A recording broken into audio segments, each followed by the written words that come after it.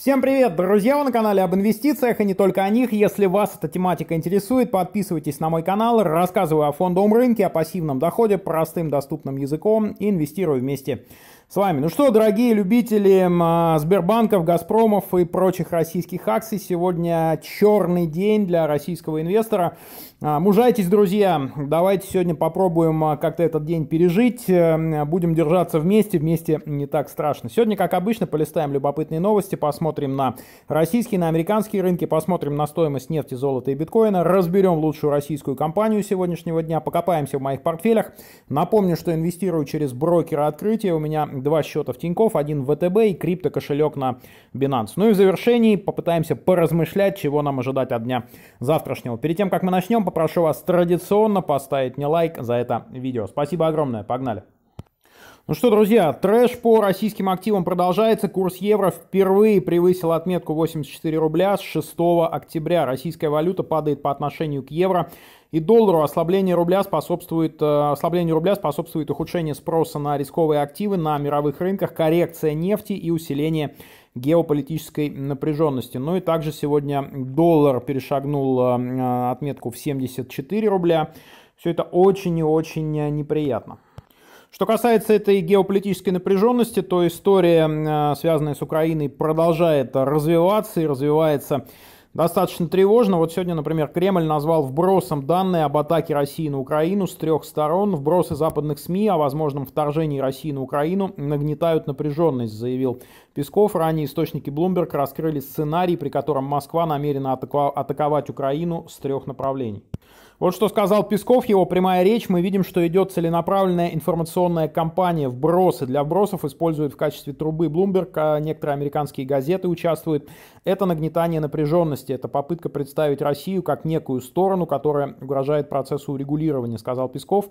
Такие вбросы также могут быть камуфляжем, чтобы прикрыть агрессивные помыслы, которые могут иметь место в Киеве, допустил пресс-секретарь, агрессивные в плане намерения решить ситуацию на юго-востоке силой. По словам Пескова, Россия наблюдает за развитием ситуации с большой тревогой. Киев и сам наращивает силы, Киеву помогают наращивать силы. Киеву поставляют большое количество вооружений, сказал он.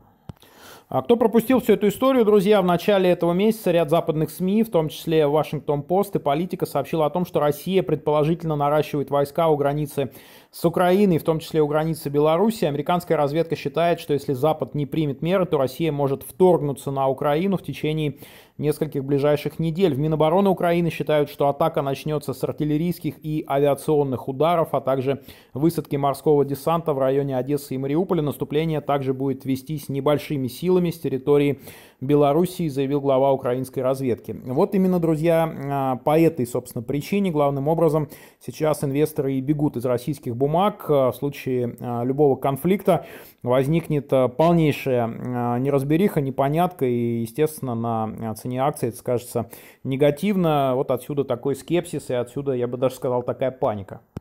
На этом фоне индекс московской биржи упал ниже 3900 пунктов впервые с августа. Индекс Мосбиржи потерял более 3% на фоне ухудшения спроса на рисковые активы на а, мировых рынках. Дополнительным негативом еще является коррекция цен на энергоносители. Индекс РТС снижается на просто бешеные 4 почти с половиной процента. В лидерах падения сегодня Тиньков минус 6,7, Газпром минус 5,4, Новотек минус 6,1, а также Обычка Сбера минус 4,7, Преф и Сбера минус 4,8. Более-менее а, неплохо торгуются сегодня бумаги Fix Price, по ним плюс 2,3 и в слабом плюсе Росгидро плюс 0,8%. Короче, сегодня на бирже просто резня. Еще одна любопытная новость. Налоговая служба запланировала отказ от декларации 3 НДФЛ. В целом возможность отказаться от заполнения деклараций будет зависеть от доступа налоговиков к данным, сказал в интервью РБК глава ФНС Даниил Егоров. Сейчас россияне подают около 14 миллионов таких деклараций.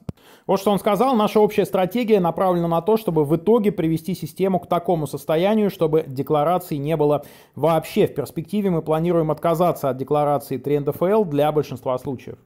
Если мы, как налоговая служба, имеем доступ к данным, по которым можно рассчитать налог, то мы можем себе это позволить. Если у нас нет доступа, тогда остается декларировать. Нужно еще пройти несколько этапов, чтобы плательщики могли спокойно производить уплату. Возвращаясь к вопросу об имущественных вычетах, на первый взгляд это для нас никаких формальных выгод не несет, но чтобы мы доверительно общались с плательщиками, они должны видеть, что мы не только контролируем, контрольную функцию выполняем, но и сервисы для него автоматизируем. Ну и в итоге вот они планируют а, перевести все это а, на автоматизированный принцип к 2024 году. Что это означает, друзья? Ну, вероятно, усилится контроль над а, различными операциями, приходными в том числе операциями. Ну и, возможно, как-то это все будет в автоматическом режиме теперь э, рассчитываться и удерживаться. Сейчас многие, ну, наверняка не все свои доходы декларируют, ну, налоговики, я так понимаю, разрабатывают схемы, как вот эти теневые доходы обнаруживать э, и налогооблагать. Ну и, друзья, главная новость, которую я вынес в заголовок, просто беспрецедентная ситуация, которая э, повергает в шок. Это возможный дефолт и возможное банкротство Роснана, госкомпании Роснана, у которой огромное количество облигаций, считавшихся просто сверхнадежными, с высоченным рейтингом, и сейчас э, полное неведение, что будет дальше, и я бы даже сказал паника среди инвесторов, кто в эти облигации заходил. Э, много уже на эту тему написано, сказано, ну давайте по каким-то основным моментам пробежимся. ЦБ объяснил остановку торгов по Роснано предотвращением инсайдов. Банки России посчитали, что информация о переговорах по реструктуризации долга, который ведет Роснано с узким кругом кредиторов, может нанести ущерб другим держателям облигаций. В сообщении ЦБ говорится, что регулятор получил информацию об обсуждении сценариев реструктуризации долга, которые госкорпорация ведет с узким кругом кредиторов, чтобы обеспечить защиту интересов всех кредиторов и держателей облигаций госкомпании, а также не создавать условий для инсайдерской торговли на бирже в период до официального объявления госкомпании о проведении таких переговоров. Банк России 19 ноября принял решение о приостановке торгов бумагами госкомпании и направил бирже соответствующее предписание. Случилось это в пятницу вечером 19 числа. Торги на Мосбирже всеми выпусками облигаций Роснана на общую сумму более, внимание, друзья, 70 миллиардов рублей были приостановлены. То есть бумаги нельзя было ни купить, ни продать. Позднее пресс-служба биржи проинформировала, что приостановка была произведена по предписанию Банка России. Роснано позже сообщила, что обсудила с кредиторами и крупными держателями облигаций возможные сценарии реструктуризации долгов для того, чтобы избежать наиболее негативных сценариев. На повестке дня обсуждались финансовые результаты деятельности общества и возможные сценарии реструктуризации в интересах кредиторов, говорилось в сообщении госкомпании. В ней пришли к выводу, что накопленный компанией, друзья, непропорциональный долг и текущая финансовая модель требуют корректировок. В Роснано отметили, что сейчас есть возможность выработать компромиссные варианты развития ситуации, которые позволят избежать наиболее негативных сценариев. Но даже за этими сверхмягкими формулировками понятно, что ситуация принимает крайне негативный оборот, и развитие этой ситуации может быть э, очень драматичным.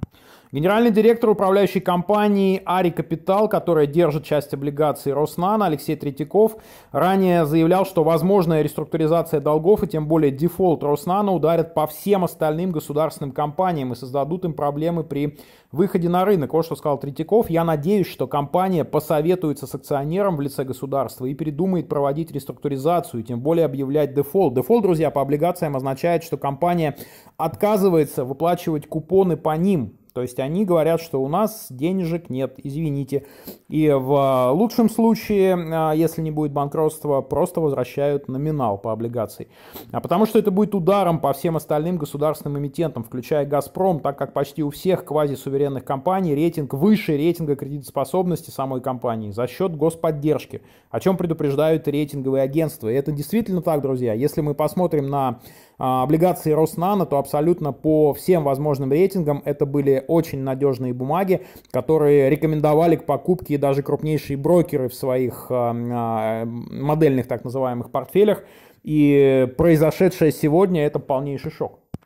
А, вот что он продолжает. Если выяснится, что государство не поддерживает компании, принадлежащие ему на 100%, это будет означать проблемы с выходом на рынок для всех госкомпаний, которые тоже часто а, выходят на долговой рынок, а, таких как Web, ГТЛК, Аэрофлот и всех остальных, кто воспринимается не как коммерческие структуры, предположил гендиректор Ари Капитал. Роснано создавалась в 2007 году в виде госкорпорации для развития нанотехнологий в России, но в 2011 году отказалась от этого статуса и была преобразована в акционерное общество на 100% принадлежащее государству, то есть фактически это государственный долг. С 2008 года по декабрь 2020 ее бессменным руководителем был Анатолий Чубайс, теперь он спецпредставитель президента по международной климатической повестке. Его уход произошел на фоне передачи Роснана под управление госкорпорации ВЭБ РФ в рамках реформы институтов развития. Представители Чубайса и ВЭБа пока от комментариев отказались. А вот агентство Fitch уже назвало ситуацию с долгами Роснана тестом для а, государства. Ситуация с долгом Роснана может стать тестом на готовность России нести финансовые потери в связи с высокорисковыми инвестициями, считают а, в агентстве Fitch. Без господдержки рейтинг госкомпании был бы на одну ступень ниже. Вот такая, друзья, а, тяжелейшая история. Будем продолжать наблюдать за развитием событий. Будьте очень осторожны с этими бумагами и вообще, в принципе, с корпоративными облигациями, как теперь уже мы э, можем понимать, э, надо э, держать ухо востро. Нет абсолютно никаких гарантий, что даже фактически государственная компания не станет дефолтной. Друзья, напоминаю, инвестировать вместе со мной можно с помощью моей готовой инвестиционной стратегии «Честный портфель». Получить ее может любой желающий. Для этого нужно написать мне в Телеграм. Ссылочка в описании, в первом комментарии. Стоимость стратегии 500 рублей. Погнали на рынки, и, друзья, на это просто больно смотреть. На момент моей записи индекс РТС теряет уже более 5%, минус 5,25%. Индекс Мосбиржи падает на 3,44%. В Европе ситуация и в мире в целом а, тоже негативная, но куда менее негативная. В минусе сегодня Фудси, КЭК и ДАКС. Америка пока еще не открылась. В пятницу там, кстати, было довольно неплохо. Доу Джонса был в просадке на 0,75, а а вот S&P и NASDAQ подросли.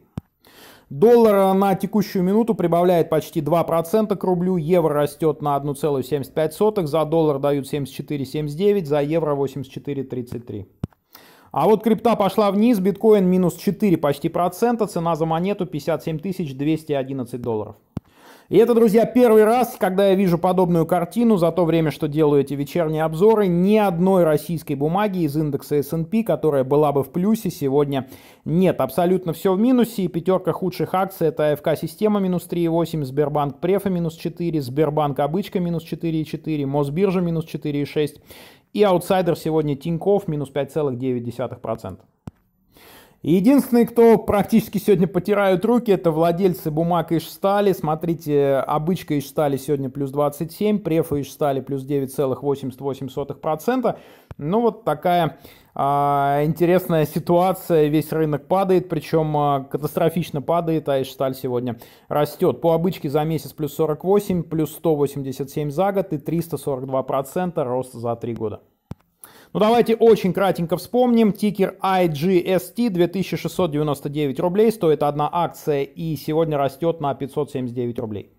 Теханализ от Инвестинг на месяц активно покупать, скользящие средние 12 к нулю, технические 6 к 1 за покупку. Ижсталь – российская компания, производитель специальных марок стали, сплавов и нержавеющего проката. Вот э, график бумаги за месяц, график за полгода и годовой график компании. Основной позитив э, начался с октября этого года, а до этого акция вела себя достаточно э, умеренно. Капитализация более 2 миллиардов, бета ровно единица, показателя PE, к сожалению, нет, э, как и нет дивидендов по обычке, по префам не знаю, надо Смотреть отдельно, рентабельность тоже, к сожалению, не указана. Более 16 миллиардов выручка компании, но, тем не менее, чистая прибыль даже отрицательная, минус 1,85 миллиарда. Ну вот так, друзья, интересная бумага, мы ее часто с вами разбирали, когда она э, начала лететь в небо с октября.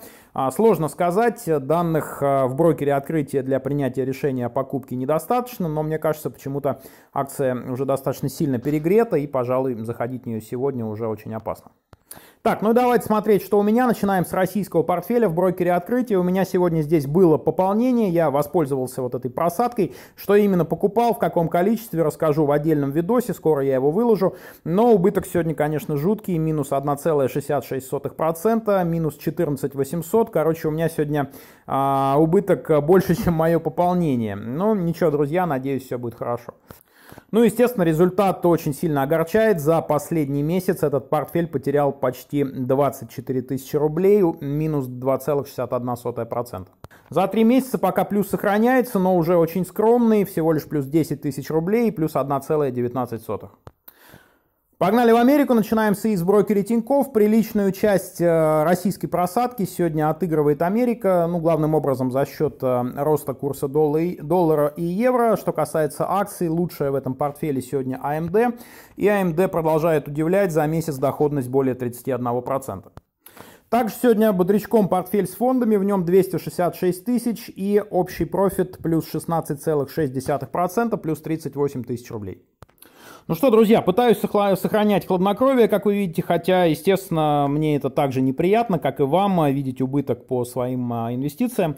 Но опыт научил меня, что все это временно, как было написано на кольце у Соломона, и это пройдет. Наверняка, друзья, эту просадку рынки нам скоро вернут. Так что не унывайте, не отчаивайтесь. Сейчас, возможно, неплохая возможность э, что-то добирать на а, таком снижении, если вы задумываетесь о покупках в ближайшее время. Что касается ситуации с Роснано, я все-таки надеюсь, что государство а, на самотек эту историю не пустит, слишком а, высоки а, имиджевые риски в случае дефолта, и, понятно, это очень сильно подорвет доверие к российскому долгу в принципе. Я надеюсь, что эта история будет тоже будет иметь благоприятный конец, но, опять же, друзья, такие ситуации лишний раз э, наводит на мысли, что к э, облигациям российских корпоративных компаний надо относиться очень осторожно, даже если там государственный капитал. Спасибо за внимание, подписывайтесь на мой канал, рассказываю о фондовом рынке, о пассивном доходе, простым доступным языком и инвестирую вместе с вами с надеждой на лучшее. Прощаюсь и увидимся завтра. Пока-пока.